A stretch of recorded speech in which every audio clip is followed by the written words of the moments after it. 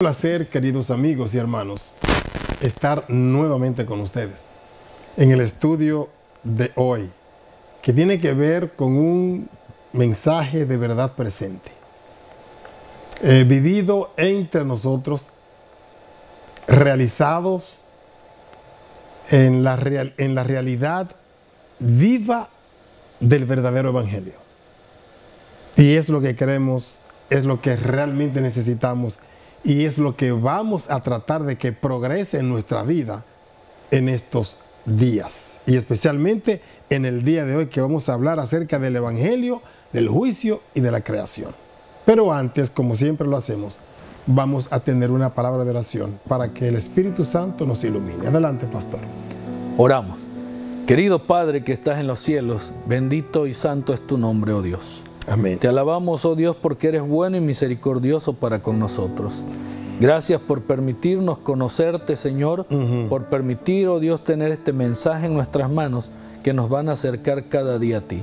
Ayúdanos, Señor, a hacer luz a este mundo, que pronto todos puedan ver, Señor, que tú eres el Dios grande y supremo, el Rey de reyes y Señor de señores. Amén. Quédate con nosotros en esta hora. Úsanos en tus manos, en tu poder, en Cristo Jesús. Amén, Señor. Amén. Hay una, una parte importantísima aquí en este punto del día de hoy. Y es justamente Dios usa la creación para manifestar su poder, para dejarnos ver que realmente Él es. Antes, antes de que se describiera en el libro de Génesis eh, la creación de Dios, la gente se pensaba cómo, de dónde venimos, cómo somos, cómo, cómo, cómo, cómo. Siempre había una pregunta. Sin embargo, Dios revela la manera real por la cual vino el mundo. Y es, es, la manera más poderosa. Es más poderosa que la que diga que el hombre viene por evolución. Pero está bien, el hombre viene por evolución, pero ¿y qué de los planetas? ¿Y qué del universo completo? ¿Qué de la Vía Láctea? ¿Qué de las galaxias? ¿Qué de, qué de todas esas cosas? O sea, no pueden ser también esas cosas por evolución, aunque hubo uno que dijo que fue una explosión que vino y que el sol quedó allá, la luna quedó acá y que todo... o sea, eh, como que no tiene sentido el hecho de decir que eso llegó así al azar. Es como si yo dijera eh, que un avión se hizo solo. Pareció de la nada. Sí, alguien tiró una piedra y ¡plop! apareció un, un, un, avión, un supersónico de esto. ¿no? O sea, no tiene sentido. Ahora, cuando a usted le dicen que hay un creador, cuando a usted le dicen que hay alguien que diseñó, cuando ustedes le dan, dan todas las partes de inicio y de final también, de todo lo que hay en el medio, porque hay un espacio grande entre el inicio, todo bueno, hay una gran catástrofe, una desgracia, y al final hay un, un, bloque que define todo lo demás. La creación, el desastre, y entonces ahora venimos a la recreación. Y es justamente lo que podemos ver aquí. Cristo, Cristo, quien es el, el creador, pero también va a hacer un juicio. Y no solamente eso, pastor, sino que Cristo es el que trae la buena nueva al ser humano. Es, es algo increíble que, que, no podamos darle a Dios el reconocimiento que se merece, ¿no? Uh -huh. Es como si dijéramos que el que creó los autos estos famosos eléctricos ahorita sí. que están funcionando y son caros sí. y decir que él no los creó. Sí. Imagínense el problemón en que se metería uno, ¿no? Porque quien los creó estaría exigiendo que eh, la patente de lo que él ha creado. Bueno, la patente de todo lo que somos y la, la naturaleza y lo que existe es de Dios. Sí. Y Él la reclama como suya. Sí. Pero nosotros nos entercamos en decir no, no, no y no algo interesante que la lección de este día, miércoles, está enfocado al Evangelio, juicio y creación, por una simple razón. El Evangelio nos muestra a nosotros, el Evangelio eterno, nos enseña a nosotros de dónde venimos y hacia dónde vamos. Correcto. Nos enseña de quién es el creador, el que merece honra y gloria, el reconocimiento, pero también nos habla de que Él está al control de todo, Él tiene el juicio que se está llevando a cabo y todo está en el mismo contexto. La creación nos revela quién es el que está al control del juicio y por qué, porque Él es el dueño de todo. Correcto. Pero el mismo Evangelio habla del Creador como un Dios de amor, como un Padre que todo lo tolera y todo lo soporta. Lo que me da a entender entonces, pastor, que antes del juicio tenemos que hablar de, una, de un evangelio nuevo.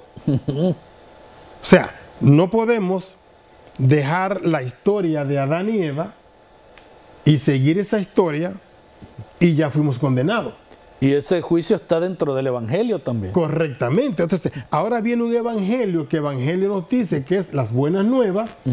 Tenemos un uno que leímos hace un ratito, la parte de la creación. La parte de que Cristo es el creador. Entonces, el mismo creador nos ha dado una, un, algo nuevo y ese algo nuevo nos indica que vamos a pasar y vamos a tener un juicio. Y que después de ese juicio vamos a volver a la real creación, a la realidad, a la nueva creación en Dios. Y es lo que realmente aquí nos dice. Evangelio, juicio y creación. Tenemos un evangelio que conocer. Tenemos un juicio que enfrentar. Mientras usted tenga vida, tiene esperanza. Pero lo bueno es entrar en, el, en el pensamiento de que Dios es mi creador y hacer las cosas conforme a como Dios dice. ¿Por qué?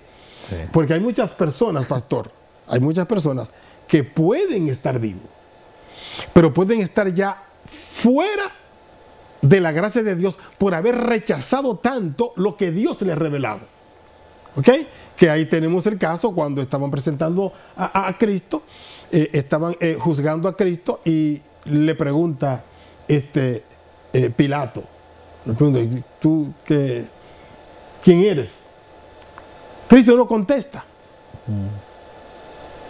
Cristo, Herodes, Cristo no contesta. ¿Por qué? Porque ya Herodes estaba sentenciado a muerte por lo que le hizo a, Juan el Bautista. Y por su vida de, promiscuidad que llevaba. Hmm.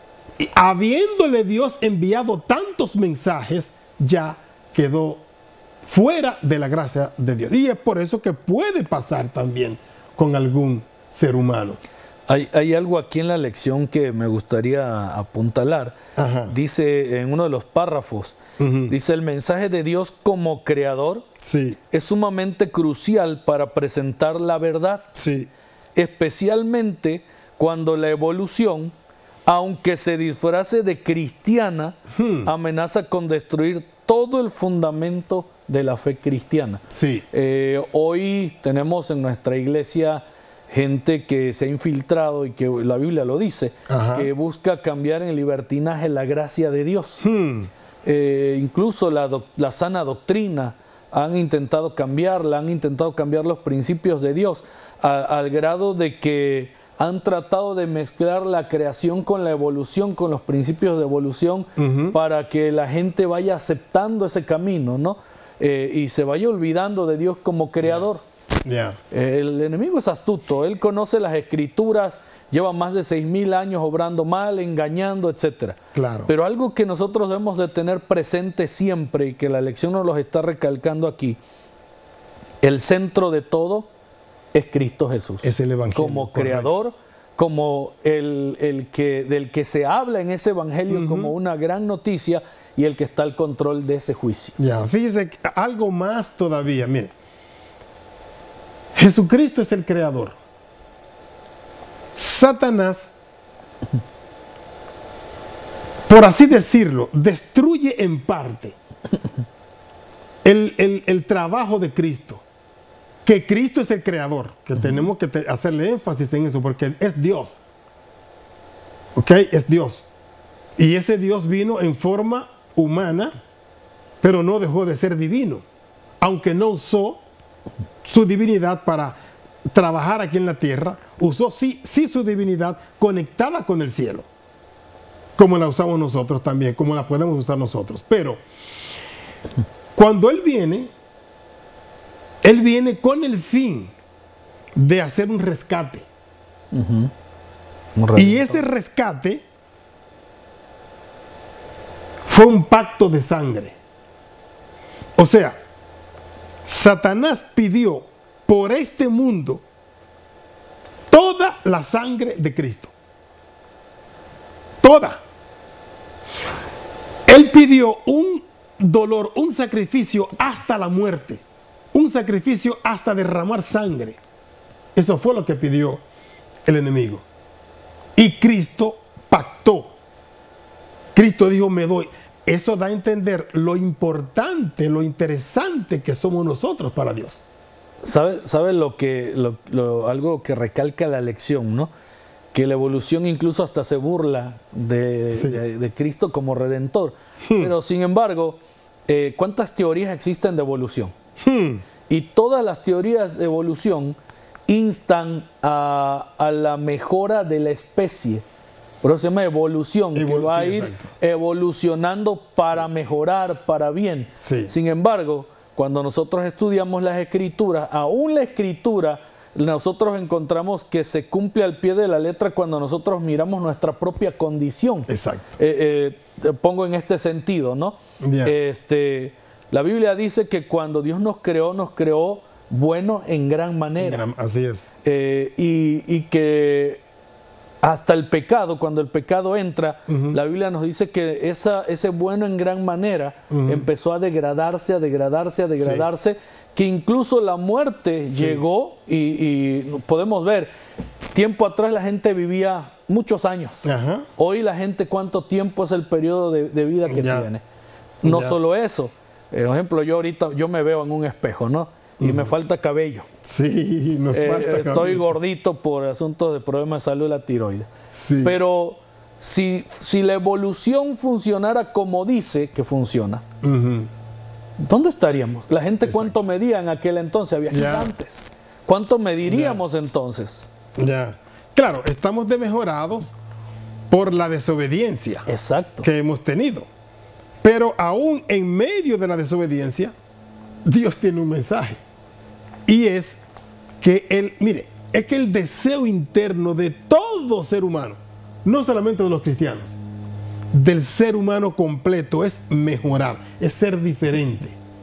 Ese es el deseo, porque eso es lo que me decía el- el- mi, mi amigo eh, que, se dice, que se dice ateo, pero que no es ateo, porque siempre cae en la realidad de la cosa. O sea que es ateo gracias a Cristo. Gracias a Cristo, exactamente. Entonces, él lo que me dice es que, ¿por qué hay tanto mal? Bueno, hay tanto mal por la desobediencia, por la revelación del hombre con Dios. Pero, pero, el deseo que tú tienes de que todas las cosas estén bien, que tú quieres que sea ahora mismo, Cristo la va a hacer. Así porque es. esa es la promesa que él, que- que él nos hizo. De hecho, la venida de Cristo Jesús es la clave para que las cosas vuelvan a tomar el mismo sentido que tuvo una vez que en la creación. vez. Correcto, así es. Y po- podemos ver este párrafo del Espíritu Profecía que nos da una, un- un- un- una, una luz en el camino sobre esto que estamos hablando. Vamos a ver este párrafo del Espíritu Profecía que está en el libro de... Aquí lo tenemos. Ok. A ver si nos ayuda allí. Sí, si nos ayuda aquí. Si no, aquí lo podemos. El Señor Jesucristo, el divino Hijo de Dios, explicó desde la eternidad como un, vino como una persona. Si usted ahí, pastor, lo- lo- me lo puede leer, eh, sería mucho mejor en lo que Gilbert nos pone a ver, a ver si Gilbert nos ayuda Sí. Con la gema algo está pasando por ahí, se trabó. Oh, parece que sí, parece que se, se- se- se trancó aquí. Pero lo que, lo que nos dice acá es muy claramente acerca de la explicación que Cristo ha hecho desde el principio, en medio del rescate y lo que finalmente nos va a dar, que es justamente lo que nosotros siempre hemos anhelado, que es la vida eterna. A ver si más adelantito Ve. nos las pones, Gil. Sí, Jesús es nuestro creador. Jesús es nuestro redentor. Y a Él, pastor, a Él es a quien debemos rendir adoración. Amén. Nuestra adoración debe estar siempre en el creador que es Jesucristo. Amén. Jesucristo es la revelación de Dios. Y Él nos dio testimonio. No existe una parte en la Biblia que defina a Cristo como que Él no es. O sea, Cristo fue anunciado. Fue anunciado. Cristo anunciado de que venía a salvar la humanidad. Además de que fue anunciado, Cristo cuando llegó cumplió todo lo que decía el anuncio acerca de él. Lo cumplió. Como oveja fue llevado al matadero. Dice también que iban a nacer en, Belén, en Miqueas 5.2. El profeta Isaías lo describe como el, el- el- el- pastor, el verdadero pastor, el, Isaías. Y, y así, se, cuando Él llega, también el libertador y el sanador de nuestras heridas. Y, y todas esas cosas Cristo la cumplió. Ahora bien, además de cumplirla, ah, Cristo hizo algo que no está registrado en ninguno de los pasajes bíblicos que haya hecho algún profeta. Y fue la resurrección Así de cuerpos putrefactos, como Él los llama nuevamente a la vida. Y eso lo hace Cristo frente a sus adversarios. Y aún así no creen. O sea, que vemos claramente que quien está detrás de todas, de, ocultar el plan de Dios, de ocultar la salvación del ser humano, es eh, Satanás. Pero Cristo se revela. ¿Ven? Es, es- lo que nos dice el, texto también acá, que el texto es bien, bien enfático. Eh, eh, Efesios 3.9. Si nos ponen Efesios 3.9, todavía es otra bendición para nosotros. Efesios capítulo, Capítulo 3, 3, versículo 9. y el versículo 9 también nos habla maravillosamente de- y declarar a todas, a todos, cuál sea la dispensación del, minis- del misterio escondido desde los siglos en Dios, que creó Todas las cosas. todas las cosas. Hay, hay to- todavía otro verso más que podemos leer, Colosenses 1.13, que es otra parte donde podemos ver con toda claridad, Colosenses 1.13. ¿Ven? Y ahí podemos, Hasta el 17. sí, hasta el 17, podemos comprender cuán poderoso es el mensaje que Dios le da a la humanidad para en- entendernos. Dice, el cual nos ha librado de la potestad de las tinieblas y trasladado al reino de su, de su amado Hijo, en quien tenemos redención por su sangre. O sea, ah, nadie, ni Mahoma, ni, ni ningún otro ha llegado hasta este punto. El perdón de pecados. Él es la imagen, yo diría la imagen del Dios invisible, la imagen misma, el primogénito de toda creación. Porque en Él, o sea, en Él, en Cristo, fueron creadas todas las cosas, las que hay en los cielos, las que hay en la tierra, visibles e invisibles, sean tronos, sean dominios, sean principados, sean potestades. Todo fue creado por medio de Él y para Él. Y Él es antes de todas las cosas y todas las cosas en el subsisten. En el subsisten. Porque no, no solamente podemos hablar de la creación, sino del sustento de la creación, porque la creación se sustenta por la gracia de Dios. Correcto. Si no, ¿dónde estuviéramos ahora?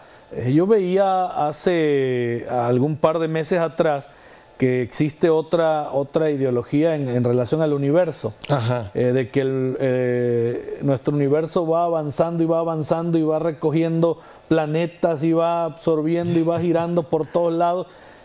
Y decía, si eso pasara ya estuviéramos destruidos por completo. Claro. Pero Dios tiene un orden y Dios estableció un orden toda la creación, todo el universo y lo sostiene con su mano, porque si Dios no lo sostuviera con su mano, ¿en dónde estaríamos hoy?